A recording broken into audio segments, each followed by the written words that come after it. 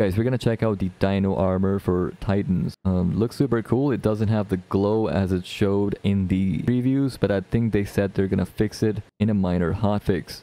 So that's how it looks like currently. Let's check out these items individually. I really like that. I really like the glow. This is what the arms look like.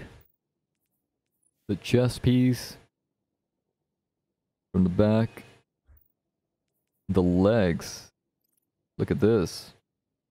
It has claws. And the mark.